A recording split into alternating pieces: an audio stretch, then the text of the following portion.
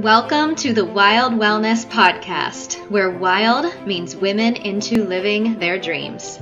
I'm Jenni Hulburt, and in each episode, we'll explore natural health and wellness, outdoor adventures, training, self discovery, and personal growth. I want to inspire you to be the strong and healthy woman you really are, both on and off the trail. Because when wild women wake, mountains will move. Are you ready for an adventure?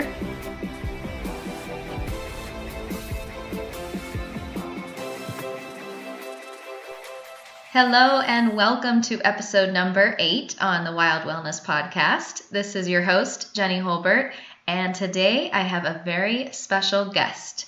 Rachael Taylor is a health and life coach at Healthy Introvert, and she teaches women how to balance business, relationships, and family with the right diet, exercise, and self care so they can love the skin they're in, boost their confidence, increase their success, and live life to its happiest. For everything mentioned in today's episode, you can check out the show notes at jennihulburt.com forward slash eight. And let's now bring on the lovely Rachael Taylor. Rachael, welcome to the Wild Wellness Podcast. I'm so excited to have you and dive into this chat. It's great to be here, Jenni. Thank you. Good, good. Yeah. So I thought it would be awesome to start out just by having you share how you got started in health coaching and why you're so passionate about helping others with self care specifically. Absolutely. Um, so I really got started in health coaching when I realized that I had been essentially coaching all of my friends and family my whole life. Um, and it was what I really love to do. I love helping people figure out their problems and in a way that they didn't have to repeat the same problem. Um, and I got a little bit of that when I was a Pilates instructor, but I noticed that um, I couldn't seem to get my clients um, to follow through with everything I told them to when they weren't working with me. And I was always super frustrated about that. And I realized, like, oh, there's this whole industry focused on helping people work through like their sabotage and why they don't want to exercise and why they think vegetables are awful and all of that stuff. And I thought, oh, that's like the level before what I'm doing now. And so I went to school and I got, I'm certified health and life coach and I loved every second of it. And I was really sad when I ran out of material. I was like, oh, school's over. Um, and, and I love that I can help people really break through stuff that um, they thought was impossible, you know, when they actually can exercise regularly and enjoy it, you know, not hate it the whole time. Like little things like that that people thought were impossible, I'm able to coach them through and show them how they can just have more possibilities um, when they're healthier and when they're they're working towards and achieving all the goals that they're setting for themselves. Oh yes, absolutely. That that makes so much sense to me. It's kind of funny because I feel mm-hmm. like that's why I went from my degree in exercise science to then getting a master's in sports psychology because I felt like I had had the the physiology training and background of like how to write an exercise plan and you know work with that part of it but then also adding in then the mindset part and how people navigate it and believe they can do it and motivation and all those things that come with it. So you're right it is like the the first step because if we don't have that then we're not gonna can have the perfect plan and not necessarily go with that anyway. Yes absolutely. Yes you can plan and plan and schedule and block out the time but at the end of the day if you don't want to do it, you're not going to do it. yeah, I know that's one of the things that, yeah, and that's one of the things you talk about um, quite a bit, I think, is when it comes to our health and lives. So often people feel as though they don't have enough time to do the things that mm-hmm. they want to do, like exercise, for example. Mm-hmm. So share your thoughts about that whole time issue that all of us have and what your stance is on it or how you help people navigate that. So what I found with the time issue was um, there's a small shift that I started with for my own personal um, time issue because I was the queen of I don't have time for that. There's mm. not enough time in the day. Um, and what I started to do was to shift that word, and instead of saying I don't have time or I feel like I have to or I need to, I found that it put this like internal pressure And it made me anxious when I felt like I had to do something or when I needed to do something. And when I put want, the word want instead of have to or need, and it was I want to, it actually was like, oh, like I felt like this release off of my heart. Like there was like a tight like grip on my heart. And when I changed the word to I want to, it releases. And I feel more in control about my choices. And so like on the days, you know, for example, over the weekend, we were in Catalina and it was super fun, but it was like three days of nonstop like activity, which was great. But then when you jump right back into work, you didn't really give yourself that chance to decompress off of the weekend because I'm a little more introverted and I need to relax just kind of by myself or just hanging out with one or two people. Right. I was around 15 for three days.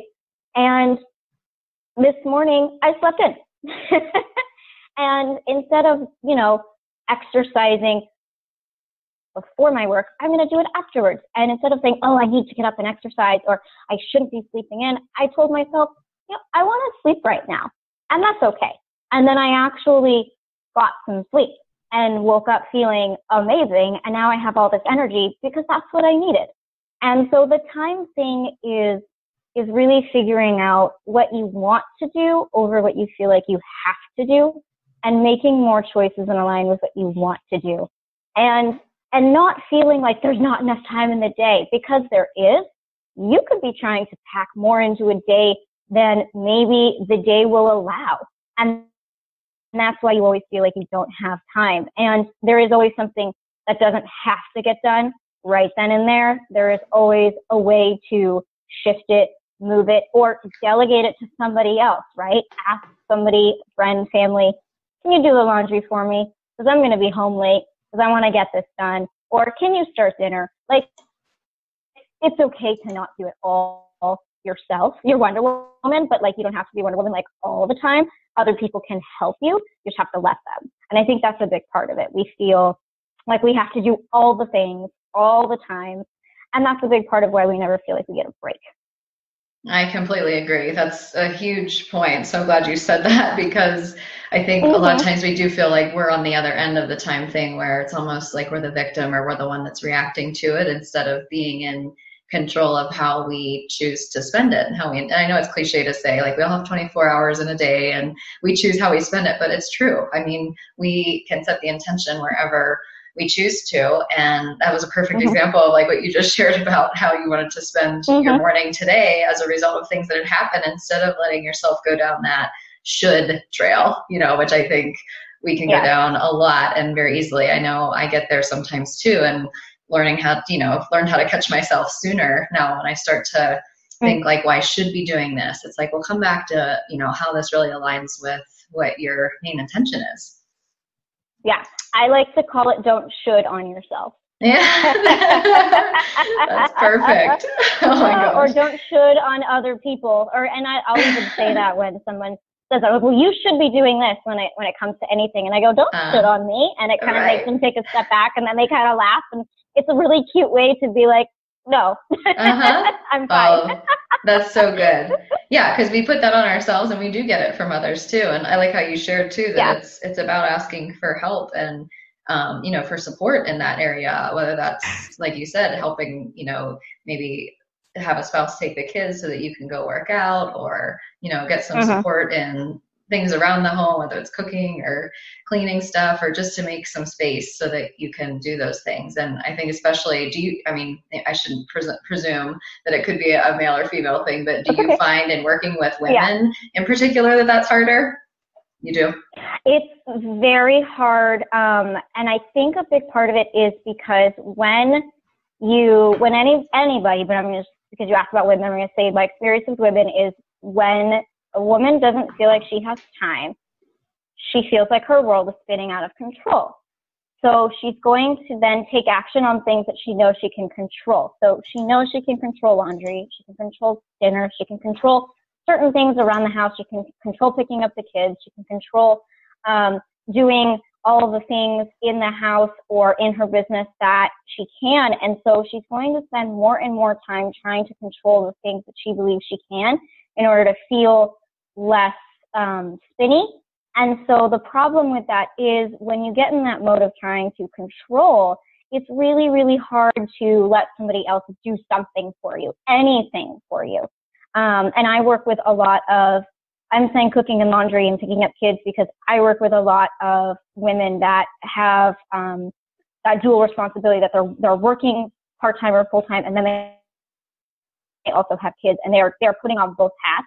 And so I find it's really hard for them to um, delegate home responsibility because that's one area that they have the most um, the most like control and they have the most um, I guess you could say like they know how it should get done and they can get it done in the way that they want and in the time frame that they want and then they feel like there's like that sense of accomplishment because it's like oh, well I got you know X Y and Z done and so I feel better um, because I couldn't control the other things but I can at least do it here. Mm-hmm. Does that make sense? Oh yeah, totally. Yeah, and it kind of reminds me a little bit about sometimes our relationship with food too, which I don't know if we should jump mm-hmm. to that right away because that it just makes me think of the whole um, having con- getting feeling out of control and feeling like you don't have a grip on whether it be your schedule or how you're yeah. um, spending that time. Then you know, feeling sort of a like everything's all over the place, um, and then yeah. going to the food area and something that we all do on a regular basis, which is fuel ourselves. Mm-hmm. And one of the things I know mm-hmm. you have um, a lot of conversation around with your clients is around dieting and around emotion around dieting and even weight loss and you know, I know I grew up with certain beliefs around weight loss and I've had to relearn so much when it comes to diets and weight and mm-hmm. body image and just so much there. But will you share a few things you've noticed that a lot of women struggle with when it comes to diet and how you helped shift that perspective with them, even if it um, relates to the aspect of control in that too?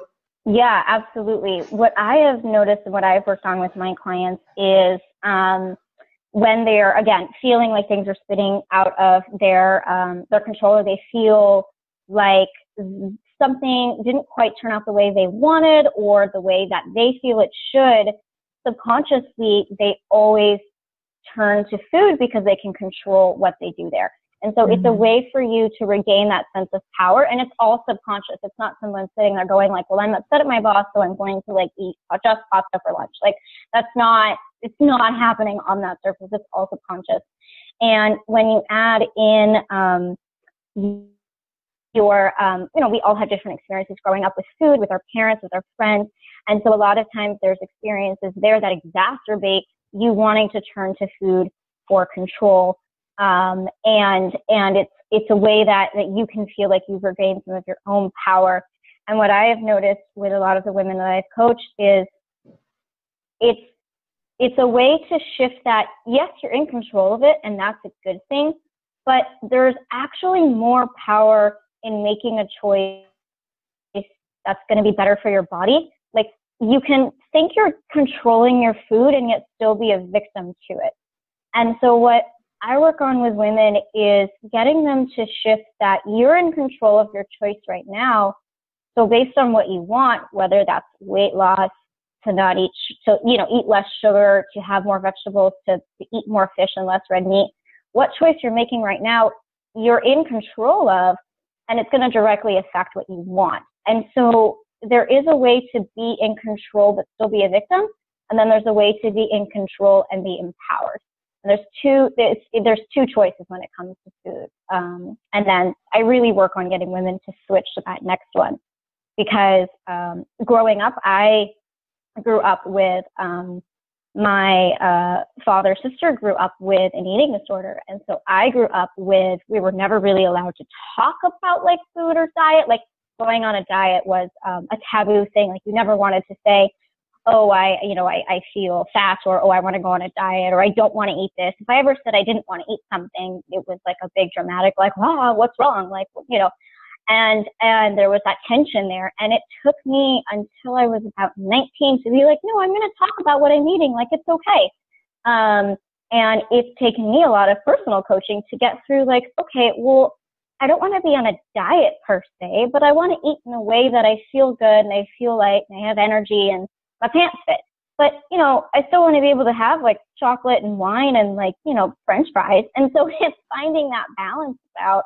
what your body feels, recognizing um, what foods really kind of fill you up and make you feel kind of like raw and trying to either avoid those or eat those on tiny doses and then finding the foods that make you feel really, really really good and and figuring out like how to eat those more because your body's going to feel so amazing when you eat the way that your body wants that you're going to not have those cravings for all of those like crappy foods because it's like, well, I feel amazing. I don't need that. And if I do eat it, it's now like fun and it's not something that I'm eating all the time.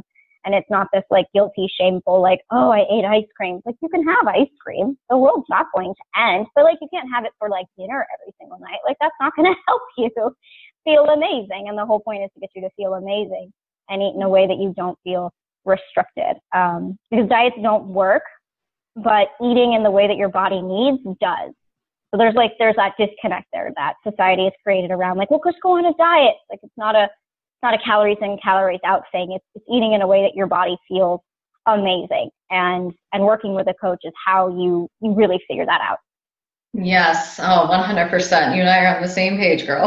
that is uh-huh. exactly um, exactly how I have come to understand it better and, you know, work through my own challenges with it and also eh, same experience in working with people on you know, emotions around food and um, weight loss and body image mm-hmm. and all of that stuff. It's, it's so interesting how we carry our experiences and how that shapes how we come to relate to food and to our bodies later on, mm-hmm. but then also being mm-hmm. able mm-hmm. to just see that and have the awareness of like, oh, that's where it came from. For me, that has been mm-hmm. hugely eye opening. Just um, you know, very yeah. part much part of the the healing process and freeing just to notice that's where it came from, and now I have the choice to change that, and that's that's a big yeah. part of it too. I think yeah, that origin story, figuring out where it's coming from and then forgiving it and forgiving yourself and forgiving the person or persons or the story or the feelings around it, that's it's so huge because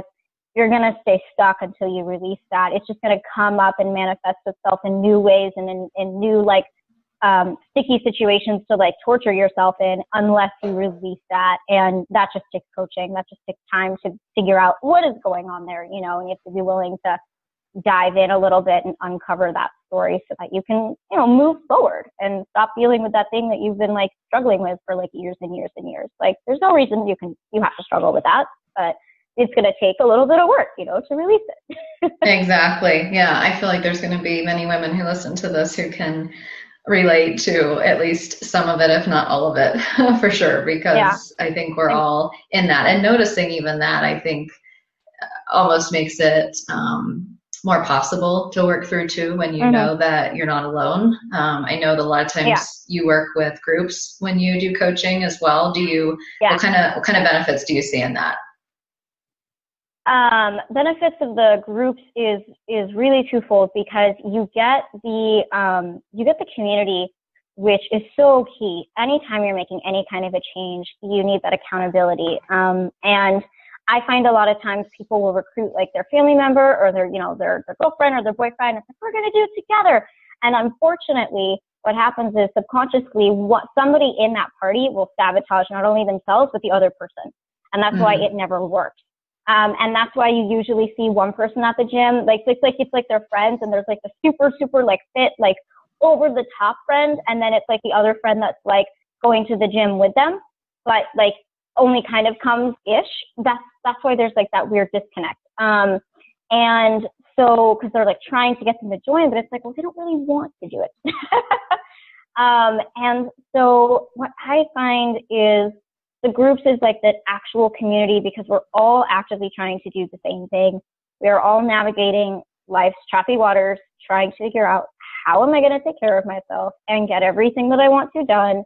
And like not only get it done, but actually enjoy myself while I'm doing it because I don't believe in working so hard that you are stressed and miserable and overwhelmed and burned out and exhausted. Um, because that is not a life. And, and there is a way to find that balance.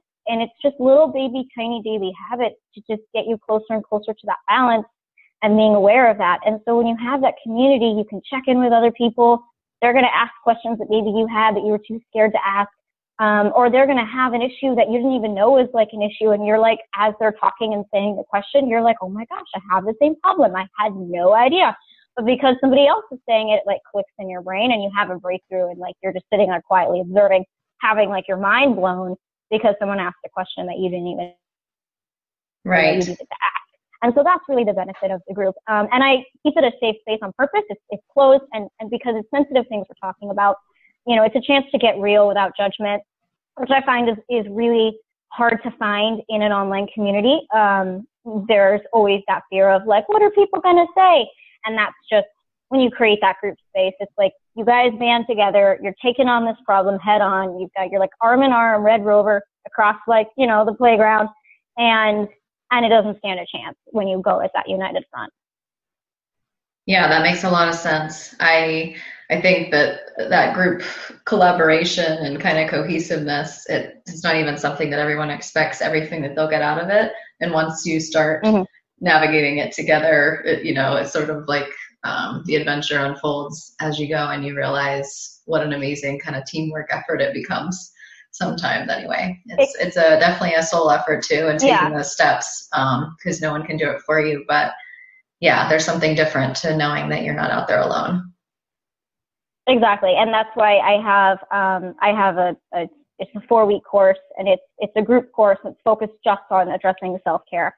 Um, and that's why I built that because I, I coach privately with other programs, but I was like, we need something just for self care. Mm-hmm. And um, four weeks is like a very manageable time um, because it takes 21 days to build a habit.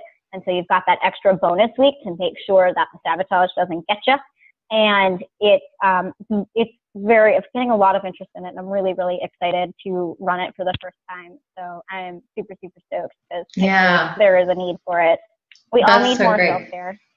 Yeah, you had like the new program that you just started. It, it incorporates exercise, food, and self care, right? Yes.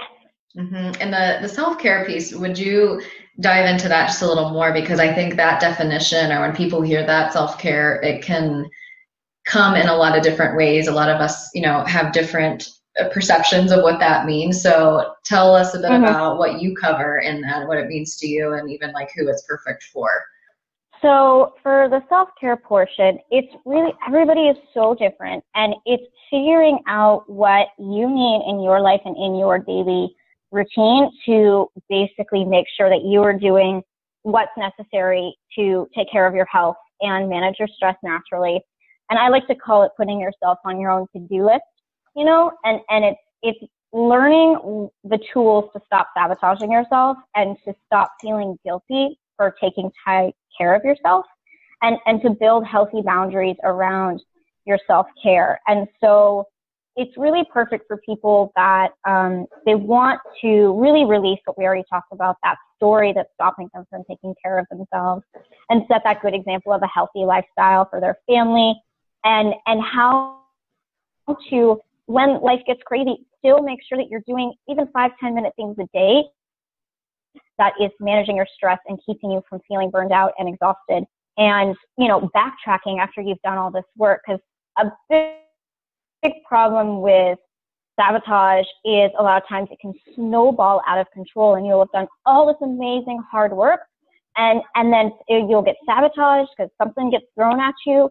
Because life can be crazy. And unfortunately, a lot of times it snowballs and then you're like, oh my gosh, I not only undid everything that I like did, but I've made like I've I've like made the problem worse. I've like exacerbated the issue, and and that's because they didn't have that tool to stop sabotage, and that's where like the the key is. And so this basically throughout the four weeks, we're focusing on your body and uncovering basically like the limiting beliefs around what your body could look like. Really connect you to why you want to change, and, and really get that deep in your heart creating this like personal power and this nourishment. So basically what you need to do specifically and how you need to add self-care into your life to make, you know, you actually enjoy your days and make yourself healthier.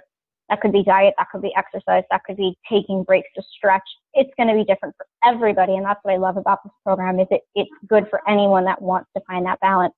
And then, of course, you go into how to identify your sabotage, get back on track when life happens, and then build the healthy boundaries around it so that as you move forward in life and you graduate from the course, you are still going to know not only what you need to do for your personal health, but then also protect that space that you've built in the long term and how to adapt it for whatever gets thrown at you.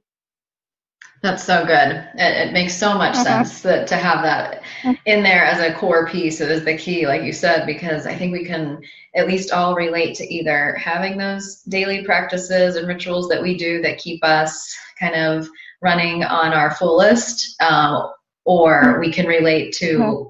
almost knowing that we need something different and that that's the piece that's missing and maybe you know obviously not everyone can yeah. see that for themselves and that's where a program like that comes in and getting some coaching can support someone and seeing that like oh this is what i'm missing. This is the piece that would actually help me to achieve that exercise goal or actually to work on um, you know eating the way that aligns with how i truly feel that i want to be feeding myself and fueling myself. That's there's this this gap and it almost fills the gap it seems with some of those things.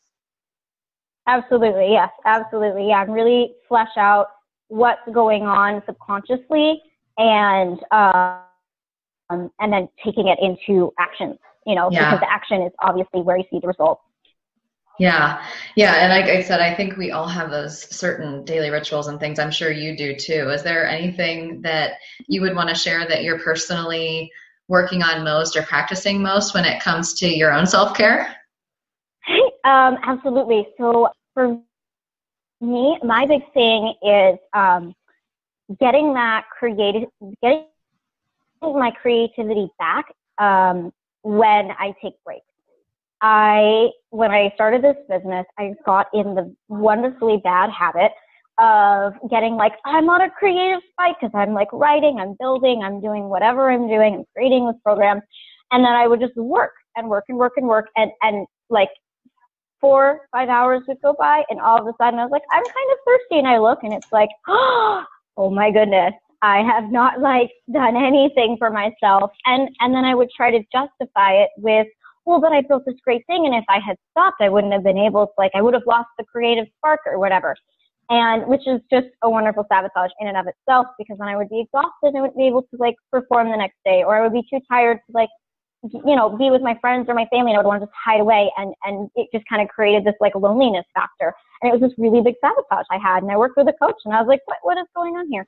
And we figured out that it was a way to keep me from um, moving forward, right? And growing. And, and because there's that, that fear when you start to take better care of yourself. There's that fear of, well, if I'm this new person, who am I going to be when I have this balance? Who am I going to be when I'm no longer stressed out by this? When I can work all day and, and um, not feel terrible because I didn't get up for you know four or five hours, I didn't eat and I didn't get a drink of water. Like, who am I to work well and have it go well and and enjoy it? Who am I to enjoy my work, right? Mm. And I recognize that it was um, my dad works 10, 12 hours a day, sometimes 15 hours a day. And he does not enjoy work because he's working 10, 15 hours a day. I'm not sure anybody who that. Um, and so there was, I had that story of, well, if you're working hard, then you must, you, you have to be miserable, right? And I had that subconscious story. And um, so when I started this business and didn't have any structure other than the structure I created for myself, I immediately fell into that pattern. And when I recognized it, I was like, oh, oh my goodness. And like my mind exploded, my world opened up, angels were singing. And so what I do is I have phone alarms because of course I have my phone with me and I have my calendar alarms and my calendar alarms tell me to stand up, to eat, to get lunch, to um, read something for five minutes. Like, and, and I have a schedule. So before work, I, I do my exercise for 30 minutes and I, I read um, I read some and I journal a little bit and I do my, my daily prayer, my daily gratitude, and then I start working. And then I, I have like a, a whole schedule fleshed out. But I, I have to have those phone alarms so that I don't get back into that sabotage. And and that's my tool to, to combat you know, to combat it basically, which is totally, totally works. And and I love it. And then I just have to have that self discipline to remember, oh, don't um the lie you're telling yourself that you have to keep working, is it that of itself a lie? You can stand up. In fact, you're actually going to be more creative if you stand up and take a break. And then I always get more done when I do that. And so it just proves itself again and again and again. The more I follow through, the better I feel. And so it's, it's becoming less of a like sabotage because I'm proving to myself slowly and over time that, oh, the decisions I'm making are actually making me feel better, you know? And so that's, so, that's really what I work on. Yeah, uh, that's so interesting. Yeah. I, I couldn't yeah. agree more and relate more as a business owner as well. It's um, just hearing mm-hmm. you talk, it was almost like hearing a part of my own story because I had those same Aww. that same resistance, that same yeah. Um, you know, had gone through that whole process of figuring out why I need to give myself permission to take a break and why it's like, well, who am I to? Who yeah. am I to, you know, and all of that. And it's funny what you said yeah. about creativity because I have found in the same thing that when I do give myself permission to take something for a walk around the woods, for example, that's one of my most creative mm-hmm. spaces. I literally mm-hmm. sometimes get so much more work done than I do when I'm sitting behind the computer screen trying to pound it out. Whereas that's where I think the work needs to happen you know, yet yeah. going out and taking my phone, you know, with me to be able to voice text myself things or to record what I'm, you know, is coming to me at that point, that can be so productive and mm-hmm. that is so much more fun. It's so much more adventurous oh, yeah. to me. And oh, yeah. I, but I've had to give myself, you know, a big permission slip to do that and to keep coming back to it because I, I still have moments where I'm resistant to it and it's like I should be doing it this way, you know, and that's an active mm-hmm. practice for me too. I'm definitely getting better at it and better than I was yeah. in the beginning of having my own business. But it's so interesting what we do to ourselves in that. But then when we realize the other side of being able to take that permission and do that thing that's more freeing mm-hmm. and do it in a different way instead of the that what we should be doing of how we can like you said it self-affirms. It continues to show us that like see this works and it's working better than exactly. what you thought. It is so much more fun and it shows through in um in our work you know? Oh, yes. and it's the same for everybody. You know especially the people even the people that they don't have their own business it's going to show through in how they um respond and you know interact with their friends and their family. It's gonna it's just gonna show. People can tell when you're happy. It's just this energy that you give out and they want to be around you then. And then because you're happy, you're like, yeah, I want to be around you too. Yes, that's the biggest thing I think with self-care that we have to remind ourselves like you you you had said that you come back to the idea that if I am filling my own cup first, you know, if I'm doing this, mm-hmm. then I'm actually yeah. in the most optimal place to be able to pour out creativity and to pour out what I'm what I'm giving and wanting to offer. And that's a misconception if we think that it works the other way around because it can't. You can't pour from an empty cup. Absolutely, yes. Absolutely, yes. It's that. Um, I love the oxygen mask metaphor, which I'm sure you've heard If They put on your own oxygen mask first before you put on someone else's. Exactly. Um, I know we all laugh at that when we see when we get on an airplane, but whenever I see that now as a coach, I'm just like, so true. I just like feel it yeah. right in my heart, and everyone else around is like, "Why is she taking this so seriously?" And I'm like, "No, you don't get it. It's like a bigger thing." yeah, it is. It is, and you don't. It's one of those things you don't know until you experience it. But if you can have a coach to encourage you and a group to support you and to try mm-hmm. it, it's you know baby steps is fine. But those small things oh, that continue to absolutely. show you that this works are are part of it, and that's so great. I love how you're helping people do that. It's all about the little tiny things you do every day. That builds who you are. It builds your health. It builds your future. And habits are hard to change. I mean, that's why mm-hmm. there's all these habit challenges, like all the way. Like you type in habit challenge in the internet, seven billion will show up. Um, but you're probably not going to finish them. So right. that's where I know I never have. So that's where the coach comes in to really help you figure out, okay, what new habit do you want to build? all right, we're not going to actually build it, but you're going to have to just commit your time. We're going to get you there, but like you have to have enough of a pain point of time committed and wallet committed to actually really make that change. So it's nice. It, it helps you figure out, do I really want to change that? Or am I just kind of like, no, I'm good where I am? So it, it helps you figure out where you are in your life as well when you're like, okay, what do I want to change and how badly do I want to change it? You know, and then you have coaches and courses available to you that can do that for you. And that's really fantastic. I think it's awesome that everybody now has these resources And I don't necessarily know if most of what's around today was even around many years ago. I know I had no awareness of it even five years ago. So I think it's really fantastic that we've got this new up and coming like coaches like forging forward, really trying to make a difference. I think fantastic. It's true. Yeah. And to be able to help people from wherever they are, uh, wherever in the world, but also from wherever they are with their goals in that too. I, I love it. That's mm-hmm. so good. Uh-huh. I'm curious, what does it mean to mm. you to be a woman living her dreams? I actually wake up every day wanting to work, which is huge for me because I used to wake up hating my life and I did not want to like go to work. I was just miserable um, because it just didn't feel like I was doing what I was supposed to be doing. It just didn't feel right. And for all of the moments of being your own business owner, that's like truly terrifying because there's moments where it is.